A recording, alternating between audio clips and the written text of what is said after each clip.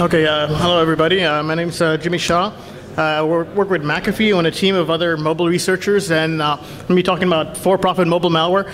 If any of you caught uh, Georgia Weidman's talk early in the morning, uh, about 9 o'clock, I will basically be giving the examples of what, what can go wrong and what people have actually done already, and showing how, yes, even with a relatively secure app you, or phone or OS, you can still get hit and what, they're, what, they, what people are doing to make money doing that. That's actually my focus.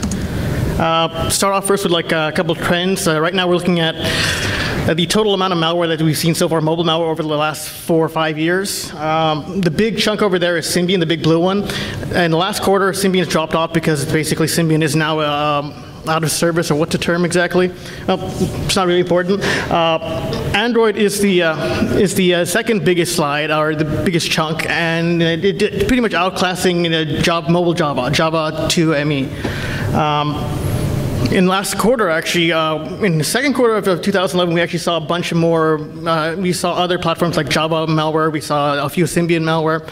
Uh, and Android had taken over in quarter two, and now in quarter uh, this quarter, the third quarter, it's basically been 100% uh, Android, nothing else, no no new malware from any other platform, which is a really good trend, showing that basically the bad guys are saying, okay, we made money doing it on other platforms, let's try it at the largest, widest expanse, the less protected uh, frontier.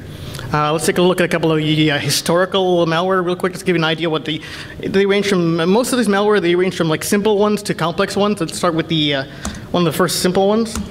This is uh, Wesber. It was a very simple uh, premium SMS sending Trojan. It didn't have a GUI, it didn't have anything to, to signify it was running. And it basically had these couple of files, a couple of image files inside that you, you could find if you took it apart and said, okay, what's inside this? Nothing special, just send a bunch of SMS. It was like one of the first ones we ever saw, come out four or five years ago. Um, something more complex, which actually came out before Wesber, was uh, Red Browser. Red Browser was, this is actually uh, really funny. I thought this was really, really old and had no, no impact to, to any of us nowadays. I mean, just four or five years. Uh, basically, Red Browser pretended to be a, um, an app that lets you browse the web via SMS like up till the release of Smozzy, I think about a couple of weeks ago on Android, there were no apps that allowed you to browse, uh, no legitimate apps that allowed you to browse uh, websites via SMS or text messages or, or your, your, text messaging plan. Uh, does it by using the uh, author's uh, server to basically, uh, you texted him, he uh, proxy, uses his server as a proxy to download those sites and then packages them up, I think, as image files and sends you an MMS back to your phone, and then you can, the Smozzy client on the app will then take it apart and decode the file and pull out the website right there, which is kind of nice. Nice trick, uh, but totally not, not, not what this thing did. This thing just basically sent out premium rate SMS messages. It's a really good attempt at fooling the user and telling them, hey, we got something that's good for you, that'll uh, get you, save you money and whatnot if you have unlimited texting. Didn't do it, just cost you money. Uh, this image basically is a, the cycle of how, how it works when, whenever uh, uh, malware authors go after a new platform. They, okay, you, you have the, the R&D stage, followed by a, uh, a reuse stage, and then, then followed by a profit stage. R&D is basically like uh, any of your, your uh, malware zine writers, uh, like, uh, uh like like 29A, like, like, a bunch of other magazines that, that people are writing malware and coming out with that new platforms, they come up with things and they, they start over again. So like we have Windows Phone 7 coming out now. We don't have the tutorials out yet, so we're still in that stage for something like that. For something like Android, where people are already leveraging their skills with Java, it's going past that. They're, they're in the next stage. They're at the point where we're just saying, okay, how do we make money with, with the, uh, with mobile malware. And that's what the rest of talks about, basically. How are people making money using things on the platform now? We're not really talking about what, what can they do yet, mm, or at all. Uh, geographically, where, where are we actually seeing the malware coming out? It's sort of a nice world here. Uh, we're not really seeing much coming out of uh, North or South America. Uh, we suspect that might be because you, if you can make so much money by selling um, uh, iPhone apps, say iFart, or a dozen other applications, for a buck a piece, a whole bunch of people, you're making a good amount of money. So you're not seeing a lot of people putting in an effort into making malicious malware in, in, in, in the um, in the Americas. Uh, then we uh, look at uh, Europe and I guess Australia. Uh, we haven't seen too much in, in Europe as such, or Western Europe anyway, uh, uh, for mobile malware of any sort, even though it's actually a large proportion of, we had Symbian users and, and, other smartphone users in Europe for a longer time than we have in America. Um, and Australia, Australia interesting because of uh, the Ikee worm, the Ikee Rickrolling worm. The one with that had was the it attacked jailbroken phones and logged in via SSH to your phone and then replaced your background image with the picture of Rick Astley. That, that was a very nice thing, but it was only for jailbroken phones, not for everybody's uh, standard uh, stock iPhone. So we take them out of the picture. We have left, we have basically uh, much of Asia and basically areas speak Russian, areas speak uh, Chinese. Uh, in the Russian areas, we have about, it's like a two to one basically, where, where in the Chinese speaking areas, we have about twice as much malware on multiple platforms, Symbian, Java, Android. In Russia, it's mainly just Java and Android. What's really strange is that it's really, really simple malware coming out of, out of, out of the Russian speaking areas and more heavily complex malware coming out of the uh, Chinese speaking areas. And then the funny part with the uh, Russian-speaking areas is because we, they have all you got your, your, your crimeware and your, your, your banking uh, trojans and things that are very complex on the PC side. On, on the mobile side, we don't see any of that at all. Apparently, it, it's simple. If they can do it with a really simple SMS trojan, they'll do it. They don't, they don't really care. They, don't have to waste the energy to, to, to fight against their competitors. Unlike the Chinese-speaking areas where it's more dog-eat-dog and you got to keep your your opponents off, off of your, your, your, your devices. You got a million devices, you want to hold on to those. Um, next stage is how do they, how do they actually profit? Uh, a couple different ways. Um, if you're going to be putting out uh, malware, it's, it's, sometimes easier to like just outsource the distribution. So you can hire like a bunch of different people to say, okay, spread it on a bunch of platform, uh, sorry, forums and, and shareware sites and well, I guess there aren't any shareware sites anymore, freeware sites and uh, basically just software markets. So you basically give you give your app over your, your malware over to somebody else, have them distribute for you, instead of having. What I'm saying is that there's a, um, a marketplace for it. You can now go to other people to have it distributed for you. Um, then there's another simple way people make money is uh, with premium rate SMS messages. Basically, these are your, your uh, subscription services like, okay, uh, astrology or uh, weather or things like that, or ringtones even. Basically something that's continually billing you and on a regular basis, and it's uh, useful for someone who's doing wants a simple, simple attack. They'll just install, have you install something and it'll send out SMS messages to their service. It signs you up or it gets you uh, one or two uh, expensive messages. Slightly more complex and uh, a stage is basically uh, is, is click fraud. Click fraud and uh, black hat SEO. Telling people, okay, you, you have apps now and we want to say, okay, how do I get traffic to my site? Do I do it with, uh, with, a, with a PC client or do I do it with, I don't know, uh, say a million uh, handheld uh, devices, a, million phones, all with their own IP address and all relatively unique people? Much better, uh, much more useful if you're trying to generate traffic. Also useful for click fraud where you want to take out your opponents uh, or waste their ad budget. Basically just have a bunch of fraudulent clicks from, once again, about a million, 100,000, 200,000, million users, and you take out your, your, your competitors' ad budgets you take over the market. Something a little more interesting, uh, stealing personally identifiable information. Uh, you have your social security numbers, depending on where you are, uh, credit, credit card numbers, uh, pretty much anything that can be used to identify an individual. That's useful to somebody because they can then take that and get credit cards and get other information, sign up for accounts, all various the options you have when you have this kind of information. Um, the thing is now you can do it like you do with credit card numbers on, on, on, the PC side where you, you steal thousands and hundreds of thousands of various uh, uh, credit card numbers and you package them up in bulk and then you send resell them to a, uh, a larger distributor. Who'll then pay you uh, like a pennies on the dollar for or pennies each for each credit card number and in the same way for in the same way for any other account information. You'll get a small amount of money if you're just repackaging and sending it to somebody else. And this is useful on, on the mobile device because you now, uh, if you, once again, if you saw uh, George's talk in the morning, there are so many apps now that collect so much information like the Facebook app, which has access to your contacts and your other information, and pretty a whole lot of information you wouldn't find on the PC anymore. It's so much easier. It's in one location. You have a tiny computer. That's where they, where they go with that. Uh, this is uh, basically SMS phishing. This is another thing where I, would actually talked to a couple of colleagues the other day and they mentioned, okay, you, you, can actually uh, do caller ID spoofing and pretend to be somebody else. We've seen malware that actually, uh, will will take that to another step. They'll, they'll say, okay, with a spoofed SMS, okay, it's coming from my bank.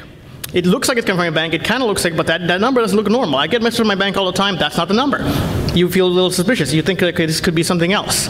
It, with caller ID spoofing, that can counter that. Another way of countering that is like this other malware that's coming up. It, uh, it, it, injects the malware into your inbox, oh, sorry, the SMS into your inbox, so you can actually spoof the entire address, spoof the content, spoof everything you need to do in the message so it looks 100% authentic. Looks like a duck, smells like a duck, probably from your bank.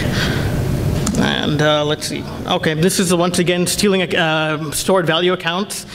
Uh, you can steal basically from QQ uh, accounts in China, which have you can hold amounts of money in your account and then you resell it to somebody else, or a Skype account that has a value in it, or, or basically any account that you store money in that isn't a, uh, a credit card account or a what else are we stealing here, or like a Facebook account, something that actually has an actual stored amount of money in it. And that's the, another target for malware authors. We have examples of some of these coming up. Um, let's look at actually some detection and evasion methods. How do we, how do malware authors hide their, their, their uh, attempts from both the user and from analysts? Um, there's some simple methods, uh, infecting other apps. Uh, this would be like uh, infecting or pretending to be other apps. The basic one is Trojan. The more complicated one is in, inserting your malicious code into another app. This is interesting because we haven't actually seen any any apps that, that do it automatically, like like an infecting virus, where it'll you have your one one virus infecting every clean app on your system.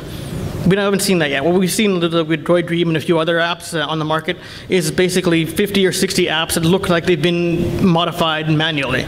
Because if it were automatic, you'd have millions of apps, not 50 or 60. Uh, so on, on, Java and mobile, one on, on Symbian, they got chat clients, they got uh, adult entertainment clients. Pretty, pretty much any, anything you want to pretend to be, and that'll get someone to load and install on your system. That's kind of how it works. On, on, Android, it's mostly games and other uh, popular games. Like, okay, uh, there's like Droid Dream. I think it was caught out initially, but it was in Google found out of it because a, uh, a, a, developer found out that somebody had pirated his app and was repackaging it and selling it on, on, on the Android market which turned out to be Droid Dream, and it was infected and got caught by Google and then removed.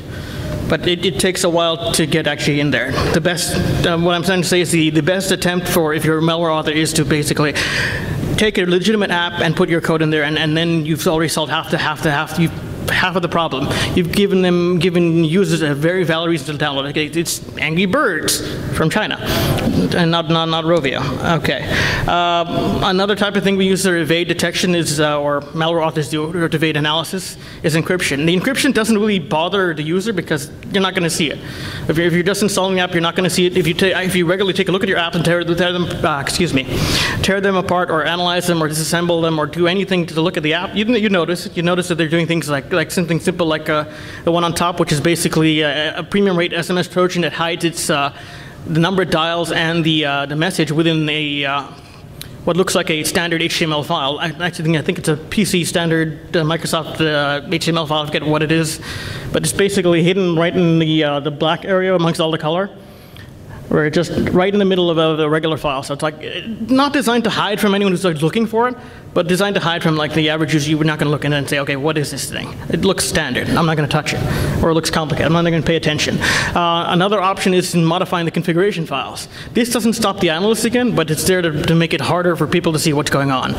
And in some cases, it, uh, having a configuration file that's encrypted allows you to uh, have a configuration, excuse me, having a configuration file at all gives you the option of changing uh, what number you're going to be sending it to. So if you, if you have some kind of server, server side uh, distribution point, you can just update that as, as you need to for a new new target. As, as they say law enforcement closes down your, your SMS account, you open up another one and then update the configuration file. Um, simple ciphers, not too difficult, but there have been more, we've seen more complicated things or more complex things. But basically, uh, uh, once again, Droid Dream, I believe. Was it? Oh, and Geinimi and Droid Dream and a bunch of other ones were basically using, I think it was DES initially, and then I think a few others use AES. Uh, both which are symmetric ciphers, meaning you use the same key to encrypt and decrypt, and if you're doing that, it means it's within the file itself, meaning you're not really protecting it from analysts or some from, from anyone who's studying it to decide, okay, is this good or bad? What you're really doing is covering your traffic meaning if it's on a network, it's encrypted traffic, no one knows what's going on because they, don't, they can't see what's going on. That, that's amazing. That, that's helpful for both evading uh, uh, network detection and also protecting your traffic and your botnet from your competitors, which is kind of where we see this a lot. Well, uh, Enemy and a few of the others are basically based out of China, and there's a lot of competition. And you have to worry more about people coming in and saying, okay, you're making a lot of money, let's take over your network instead of building our own. which is kind of what happened. That happens occasionally. Um, a few other evasion techniques that are being used, uh, reducing security uh, uh, security settings and whatnot on your system. Uh, we saw this initially with uh, Windows CE uh, with InfoJack, which uh, used changed the registry setting to allow silent installs on their phone which was a number of years back, but it was a, it was a start. It was basically saying, okay, how do we make sure that we can drop our new updates and our additional payloads without worrying about uh, the user noticing it and stopping it and then download or whatnot. Uh, then also root vulnerabilities, like on Android, uh, you rooted your phone, okay. How do, how, what do we do now? Well, if, if, if the malware is rooting your phone, they have full access to your system. Pretty good deal. Uh, I believe, what was the one? There actually been, it started with DroidDream, but now we've seen about three or four other versions of uh, malware that uses similar exploits that you use by DroidDream, just repackaged or once again encrypted to avoid detection or avoid uh, antivirus from picking it up in some cases. Um, just so they can root your phone and then take over. So once again, malware doing this. Uh, we haven't seen the same thing on, on iPhones yet. I mean, it, the concept is like if, if you saw George's talk early in the morning, yes, you can you can go after Android, you can go after iPhone because it's much the same technique. Uh, jailbreaking all does a number of things. First, it like uh, unlocks the device, breaks you out of the jail jail, jail uh, directories, and gives you access to the entire file system. Then it also uh, patches out the uh, the kernel so that it disables code signing, so you can run any code you want. And I think it does a few other things. I'm not sure exactly. Uh, and so if you go to jailbreakme.com you know, with the right and right uh, firmware, it's, it's a one-click step, a drive-by download basically if it were, were something malicious, and it, it, lets someone take over your phone. What actually, uh, the only time we actually seen this in action, meaning we haven't seen it in a while at all, was uh, at ToorCon last year. Uh, Eric Monti uh, did, a, did a demo where uh, he took the jailbreakme.com 2.0 version, I believe, and the exploit, which put out when you visit the site, it was a PDF, a malicious PDF, and it put out a couple messages once you once it ran the exploit, the shellcode. Uh, I popped up a couple of uh, messages saying, okay, we're doing this now, and then this, and then that, it's telling you all the various steps that are happening during the jailbreak. Now. Um, he, what he did, what Eric did was he uh, took out those messages, took that all out, made it completely silent, so it was a silent drive-by download, and he added uh, code to do uh, keylogging or at least detection of uh, input from the uh, in the keyboard or whatnot. Um, when he, he, ran it against, I believe, one of those one of the one of the very popular um, um, reader, read, credit card reader device that you plug into an iPhone. And I'm not going to mention what, what, what, the name of the, uh, the service is, right? Uh, but um, essentially, he, he did that, and uh, he was able to read the, the, the, digits on the device. So this is like a stock, uh, uh, what do you call stock iPhone, same same OS that you get on just term like. Um, reflashing it with iTunes or whatnot, and uh, you get full access just by having you visit a website. So yes, you can do it on iPhone. Yes, you can do it on Android. Yes, you can do it on pretty much any smart platform. Okay, I think uh, we mentioned earlier BlackBerry. Not really, because Blackberries are mostly Java phones with like very restricted access. I think there was only one attempt at, at doing the drive-by, which was a phone to own at Can CanSec West, I think last year also. Uh, it was basically a WebKit exploit that they spent a lot of effort and time to actually develop and go after uh, BlackBerry devices, but generally not a, not a common exploit. Uh, let's look at some actual examples now. Um, Java. Java J2ME mostly, these are simple, simple applications. So once again, mostly coming out of Russia. Not too difficult, not too, not too complicated. It's a very simple thing. It basically just SMS sending Trojans for the most part. This one's a little bit different, uh, or a little bit more complex of, of the simple ones. SMS free, it's had a number of different variants. Uh, some are, once again, like the chat programs or the adult entertainment programs, or pretty much anything that'll get you to install something popular and, and run it and of course it doesn't do what it says it does. What it does do for on uh, which is good for the, the malware writer is that it sends it, it's customized for various countries. So like if you were in say the, the Ukraine, you're not going to be running a number for Russia in there. So you don't have to worry about okay, it's not it's just running like even if you run the same, same malware in the U.S., you're not going to get get paid because we do don't have service for that short code that uh, short SMS code that you're sending to. So that's actually customized for various. Um, countries. This is actually an improvement. This is like in later in the stage of uh, SMS, but still very, very simple. Something slightly more complicated, I guess, um, VCon Pass. Uh, VKontakte is a, uh, a very popular uh, social network in Russia and Russian-speaking areas. It's like uh, Facebook pretty much, and so this app pretends to be the, the mobile Java client for that, which is something someone would download, like Angry Birds, right? Same kind of thing, very popular. You type in your name, your, your, your username, your password, and boom, it, it sends an email right to the author Very simple, very quick, gets him access to personally identifiable information and accounts, and you can leverage those to go basically, okay, you have all your contacts, all your friends, let me go send them the same message. Go download this, install on your phone, and then you're collecting a bunch of things pretty good for the author, not so good for the rest of us. Uh, let's look at some Symbian stuff. Symbian like used to be one of the largest smartphone platforms. If you saw the original slide in the beginning, the big blue slide. It keeps getting smaller as Android takes over. Uh, but they were the largest, and I think uh, up to about two or three years ago, where they actually improved the operating system. So it was actually they had more security controls and more uh, certificate signing, so that you actually had to do similar things like jailbreaking a Symbian phone to get more access. Um, Let's look at something simple from them. Uh, A is a uh, Python script that does exactly what those Java things do. Sending uh, SMS messages, something very simple, very, very simple, and it just does the same thing. It puts up like a fake message, tells you it's something useful, tells you it's like a, a chat program, things like that. I mean, things you'd think you'd expect. I mean, I think this goes with ICQ, ICQ, so I think it was out of Russia also. Um, so basically, Python on your Symbian phone let you do something very simple, and it, it just show, goes to show you that if it's easy to do, somebody will do it. And uh, let's look at the actual more complex ones, things actually interesting on Symbian. Um, this is a little bit older, Kiazha. It's, uh, it was in China. It was basically, it repackaged a bunch of older applications. So we, we call them multi-droppers because they're just a bunch of repackaged malware in one installation package. And they're old, they exist, we all know what they are, and they just put them in a package and send them out again. The simplest thing you can do, except this guy was a little more creative. Instead of just repacking everything, he said, okay, how do I make some money? Why don't I put another program that, while I've installed all this other malware that disables your phone and makes it slow down and does a bunch of other nonsense, uh, why don't I put up a message saying, hey, why, uh, you want, if you want your phone to be fixed, uh, send me some money via QQ, the, the chat program, and, and, and I'll send you a fix for your thing. I don't think the guy ever actually sent the fix to anyone who paid up or whatnot. Not at all. So he wasn't, he wasn't even extorting you. He was just cheating you out of a bunch of money, a couple of coins, which sucks, but I mean, that, that shows the innovation compared to the uh, Java SMS Trojans where they just send an SMS. That, that's actually kind of interesting. Uh, and you can actually cash out QQ currency, so it's not just a uh, online kind of thing. Um, this one is Super Ferry A and P. Why is Super Ferry interesting? It's basically the one that uh, out of the uh, ways to make profit is it's uh, basically an SEO app.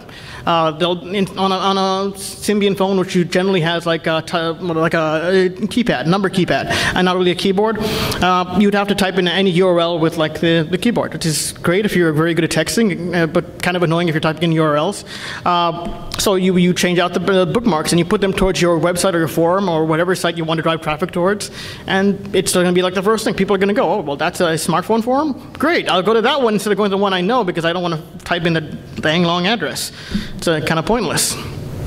Um, yeah, and then and there's also an attempt to download another app, and I, we didn't actually see it in the wild, so we didn't catch it in time to see what was going on to check out the uh, other side. Uh, InSpirit A is the one I was referring to about the phishing via SMS. This is the one that inserts SMS into um, into your, your inbox. It looks exactly, they can format exactly how they want it and put out the, uh, all the addresses to say, okay, or the phone numbers to say, okay, yes, it's from your bank. Awesome. It's from my bank, and also it's a message that's trying to do something interesting. It's phishing saying, okay, uh, your account has been hacked if you don't log in or whatnot, and within, I think it's five days or something, um, you're going to disable your account or, or, or uh, block your account so you can't use your, your money. Sounds good. Phishing site, directs you to a phishing site right away. Very sneaky. And a little more complicated. And then uh, once again, you'll see it's like a, it is a Trojan. It pretends to be an ex uh, system acceleration patch. Yeah, because everyone knows my smartphone's slow. Let me install some more software. That'll make it faster. That always works. Uh, let's, let's, actually look at Android now. These are the bulk of pretty much all we have uh, that we've been seeing in the last few months. Um, these are simple ones first. Uh, basically, we start out with SMS sending Trojans like Hippo. In Hippo SMS, it just sends out premium rate messages to, uh, uh, what do you call it, to sign you up for premium services. So um, does, do we need to delete them? Uh, yeah, okay, it also deletes the messages like confirmation messages. So if you sign up to like a subscription account or service, it'll tell you, okay, your service will send you a message and then they will delete it. So if you delete it, you don't know you're signed up, you just keep getting billed. Very good for, for the uh, malware very bad for the rest of us. Um, something also very similar, uh, jsmshider.a. I, there are like a few, 50 or 60 of these. The various ones that are around are very, very similar. I tend to forget exactly what they do. Okay, um, this had a backdoor. This is a little bit more complicated. Um, steal system identifying information like your IMEI, which is like a serial number on your phone, um, probably just so they can identify which various clients they've actually uh, infected and not anything special. There's no magic they can do with that necessarily, and has location. The nice thing, it has the command and control server, which helps you, basically, uh, the uh, attacker to keep doing whatever they need to do, like either installing more software or getting SMSs or a number of things. This is intercepting SMS is very useful if you have like uh, banking with two-factor authentication, like uh, an MTAN, that's a mobile transaction authorization number, meaning you, you log into your website and your bank sends you an SMS. And then there are Trojans like Zitmo that, that basically do the same thing, intercept and forward your SMS to the attacker. So they, when you log in, you get the message, that gets forwarded to them, and they can do the, well, actually, when they log in, you get the message, it'll, they'll get forwarded the message and then log in at the same time, or at that time. And you have still no idea what's going on. Uh, another newer one that's also very simple, uh, GoldDream it infects legitimate apps, or it's not an, uh, not an infector. It's been inserted into uh, malicious apps. Once again, we haven't seen uh, automated infections because there would be uh, millions of apps, or thousands at least, hundreds of thousands that are all. Pretty much every app you see would be infected or infector. We haven't seen that yet. Um, Okay. I don't remember exactly what all of these do because they're all very similar and they're all, all to some extent do the same thing of sending SMS messages out. Um, I think this one actually attempts to install additional software, which is a nice thing, and it's related a little bit later when we are talking about a little more complex malware. Um, this is another simple one, Steamy Screen. It was a uh, very popular app where you can actually pretend you're drawing on a steamy shower door or something. I'm not sure why this is so popular. I mean, you can just do that in the morning or something. um, and so it was uh, similar concept, forwarding your contacts, stealing information from people, and then forwarding it to the attacker. The contact portion makes sense if you're actually trying to find new people to infect kind of useful. Uh, oh, yeah, and the bookmarks. Once again, that's the SEO, basically to drive you forward to. On Android, it doesn't really make a lot of sense. You have a keyboard phone. It makes more sense on the ones that don't have keyboards, like uh, virtual on-screen keyboards. Virtual on-screen keyboards are interesting because we have got a few more things that are interesting about that. What you can do with an on-screen keyboard and that you don't do with a, a regular keyboard. Uh, this is a calendar app. Uh, I'm not even sure how you pronounce that. Jim? I, I, I, have no clue. Uh, this is an app that is sort of a calendar app, but it, it doesn't actually do anything until you, it, it always starts in January. So you're, in March, April, I think that's when we actually found the things. If you try to forward, there's actually code in, if you code in, in the app, if you try to forward about four or five months, then it triggers the uh, sending of SMS messages and whatnot. It's a little tricky, not a very effective uh, calendar app, but not very useful either because it, it doesn't, it's not a very good Trojan. I mean, the more, less, the less useful it is, the less useful a Trojan it is, less likely to keep using it. Uh, let's look at the more complex ones. Uh, the one of the original ones, Geinimi. This is a slightly more complicated one. It, once again, infected apps, uh, asks for a ton of permissions. Uh, asking for tons of permissions is a bad thing. I, th I think uh, Georgia mentioned uh, Whisper Systems uh, software, which I think runs on Nexus S only uh, because a lot of other malware uh, phones you can't actually install with their drivers yet. They're working on that, but they're not yet. Uh, basically, they give you more granular permissions, so you can say, okay, I, I, I want it to be able to access GPS, but not SMS, or I want it to be able to, to get, get the uh, record audio, but not, uh, I don't know, send emails or something, or read my emails, or uh, things like that. With, with standard Android, it's the operating system reading the manifest file in, in your app and saying, okay, these are the permissions that are requested by the app or the developer. Grant them all, or no, you don't get to play Angry Birds. You know, that kind of thing. Um, oopsie, go back one. uh, what does it do? Same thing again, encryption, and has a backdoor and has a bunch of other uh, functions. A very complex kind of app and very interesting, but I forget exactly what the deal was. Okay, how does it make money? That's why I'm here, actually. How does this thing make money? Okay, it's, uh, it's it, it forwards, I think it opens or URLs. Yeah, okay, traffic generation by loading web pages. So if you load a URL, you can load an ad, you can load a uh, page, you load anything under control of the author, meaning even a download uh, URL. Um, yeah, and forwarding SMS and forwarding content. Basically the same things you're doing with the simple apps, but with, with, with encryption and a few other, than uh, the possibility to upgrade your app. Um, this is uh, tsent.a. It's named after the, uh, ma the manufacturer publisher of the QQ uh, messaging system. And we, it's named like that because it actually goes after some after uh, security software is provided by the QQ uh, instant messaging service. They're trying to protect the users, and at the same time, this thing is going after them and deleting them first, getting them off the phone. Okay, you have uh, AV or something? Goodbye. Which is a good technique, and it's, it's, it does it basically doing everything the simple ones were, but taking it at a stage up by going after security software. So starting the whole cat and mouse game where uh, we detect them, they detect us, and, and we go back and forth. Something along those lines. It, it's a step up. Um, Cruise Ace, another very similar one. I forget exactly what this one does. Okay, yeah. This one attempts to delete software. I believe it was, uh, we, we suspect it was a port of a Symbian uh, malware because the code to delete uh, software was designed to delete uh, software from the Symbian phone, meaning it has the same directory paths and has the same naming for the for applications on the device. Something you would never find in an Android phone. Meaning uh, the people who are writing the complex Symbian malware in, in, in, China, they said, okay, let me just port that code. I got a, I got a short deadline. My boss is going to kill me or something, literally. uh, so, I mean, they, they, basically take what they have and they put them together. This is similar to one of the first Android uh, Trojans, which was, I think, uh, fakeplayer.a or something, which was essentially the equivalent of a J2ME uh, Java, uh, mobile Java Trojan in Android, because Android is programmed roughly, is written in Java, or at least the, the code is the source code written in Java and then converted to uh, uh, the Dalvik virtual machine for the most part, Java's Java, and it, it kind of works like that. If you're a programmer, it's about the same all the way through. On the other side, there are differences, but it's not, not that relevant. It just means it's easier to go take one thing and move it away quickly. Uh, Droid Kung Fu, another one of the more complex ones. I, I, think this is the one, first one to use the, or one of the first few to use the uh, encrypted root exploits. So like uh, the other ones were using, I think Droid was using the unencrypted uh, root exploits that were used to root your phone.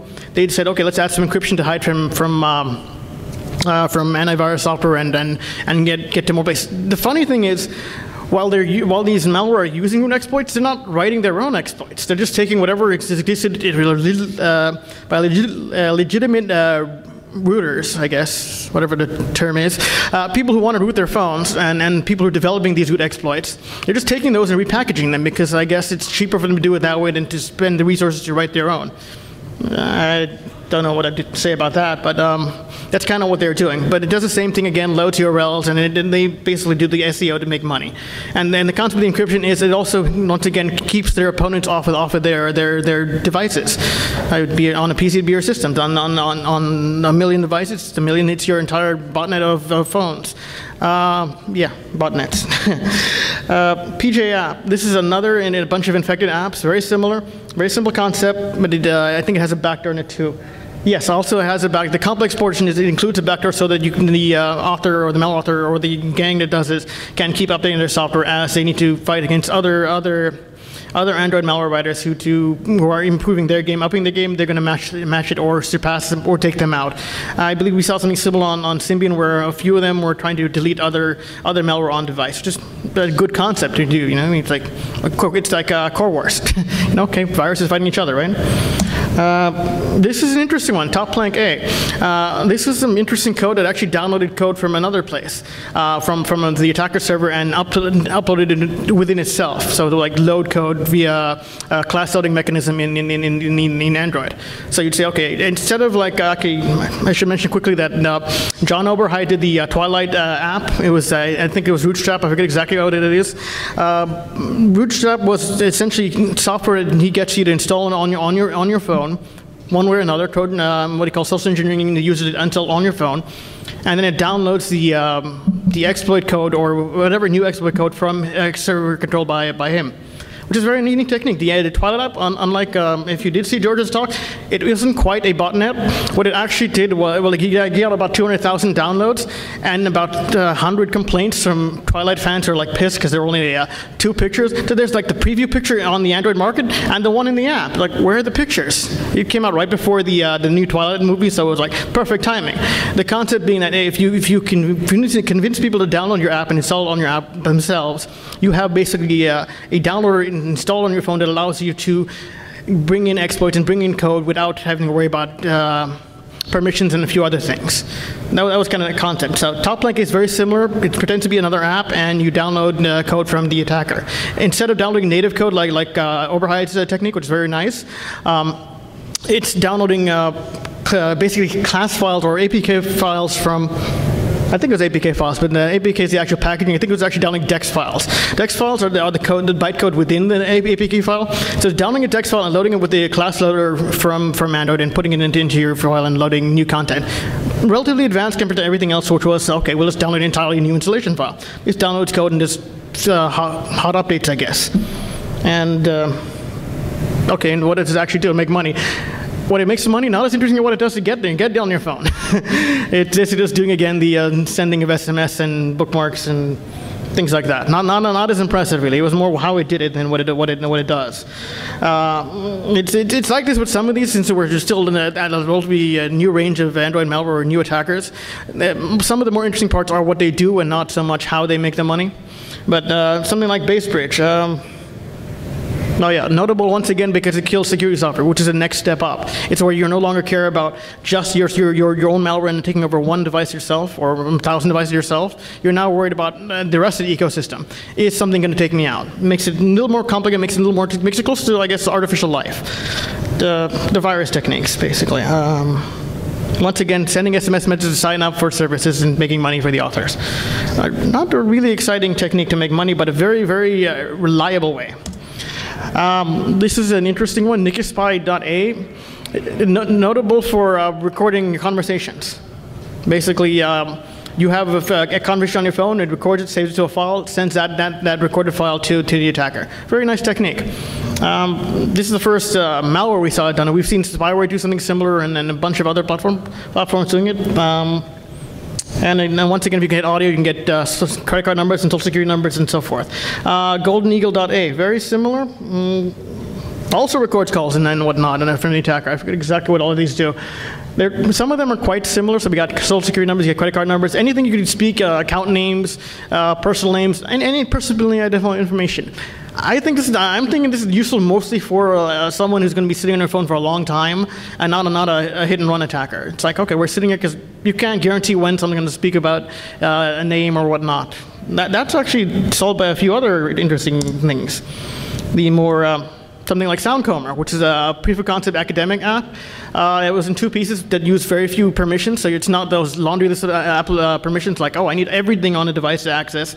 It, it, I think it has a hardware control for, for uh, recording, and it has, has, has uh, from, uh, I think internet access. I think those are pretty much it. So two pieces. So it, uh, what it does is interesting. Um, the recording portion records the audio when you when you connect to an IVR. So similar to Warvox, it'll it'll uh, they have a fingerprint for for a number of uh, IVRs, like your credit card company or whatnot. And so they know when you're, when, uh, what portion of, of the uh, call where you're in the section says input your number. So it's either they can do it two ways, either by getting the keystrokes when you type it in the keypad, or number two, um, getting the audio and then converting the uh, DTMF, decoding DTMF and converting the digits, and then, then just sending the digits back to the attacker. A little bit of bandwidth, a little bit of uh, work, but a very interesting concept. Uh, sound card, I mean, that's how they do it. They grab the credit card numbers. That's kind of how they make money. Uh, another one, more recent, uh, TouchLogger this is another interesting uh, academic project. Uh, we haven't seen any of these in real malware yet. these are quite interesting. Um, so this one, uh, so if you, once again, I was talking about on-screen keyboards. So if you have a physical keyboard, you can just read keystrokes, right? On-screen keyboard, you'd have to get like like read keyboard and active permission. This one doesn't actually need that. All it's doing is reading the, uh, the sensors on your phone, which is like your accelerometer. Not a, not a bad thing. I mean, they even say in, in the uh, research paper, like, what, what, what's the next step? Uh, there are now web interfaces for that allow you to read the sensor. So essentially, it's reading the accelerometer to see, okay, when you, when you hold the phone in your hand and you push the uh, one button or two button or the nine button, it can tell out, out of all those nine, nine number buttons, by the movement of the sensors, roughly which button they are. So they have a profiling app on the PC that finds those things and then uh, spits that out and produces a database that can be used by a second app, which would be a more Trojan. They haven't actually built a Trojan app, but they have done the uh, profiling of various devices using a specific keyboard. Very unique technique, and it takes over for um, on-screen keyboards. And once again, it would be something for grabbing account numbers and credit card numbers and, and the like. Um, yeah, I got a few references here, and it's. I think I'll have the slides up a little later on. Uh, do you have any uh, questions? Sorry, yeah. So one of the things that I, I wish I okay. got a chance to ask Rich Cannings or something from Google is right. why in God's name do they not just scan with a mobile antivirus tool what gets submitted to the market? There are, um, I think uh, George actually mentioned earlier, Android's a very, very open platform. You know, like the original uh, IBM PC and, and so forth. Um, they're trying not to shut it down or lock it down. I, mean, I think that's part of it. Uh, another thing is I don't think they're actually looking at it from a security standpoint yet. I mean, they're, they're, they, haven't, they haven't put the infrastructure in place. They've had, had a couple of new guys there and whatnot, and they're doing some reorganizing, but they're not quite at the point where they're, they're fully integrated with uh, security software in the market or with, uh, at that point yet. I think they're working on it. I just don't, don't know exactly what, what it is. It, it, wasn't a priority, I believe. Yeah, that, that's what it looks like. Uh, Sorry, yeah? Do you think there'd be any problems coming up with an Icebox style protocol or device for mobile devices where Oh, you mean like a freezing and then restoring?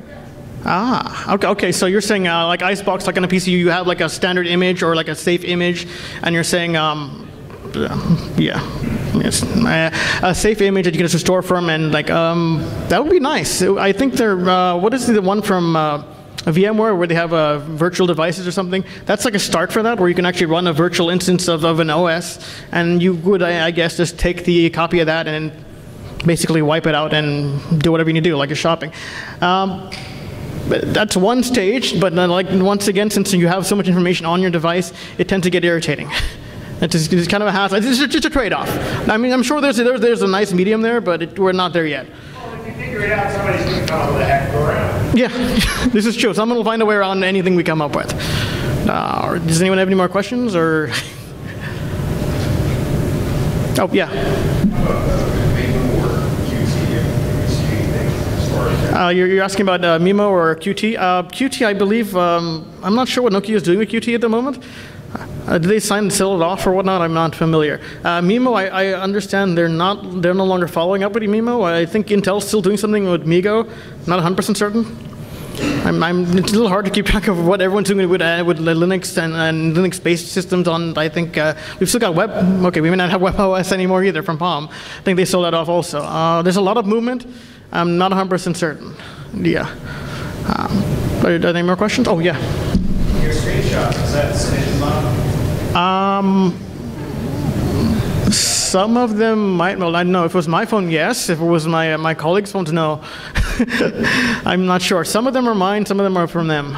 Yeah. But yeah, another good mod, yes, uh, Cyanogen's got some good mods and uh, respectable stuff. And for security, I mean, there are some reliable ways of finding things, things for, for secure ROMs. Uh, any more questions? Nope. Okay, uh, thank you all.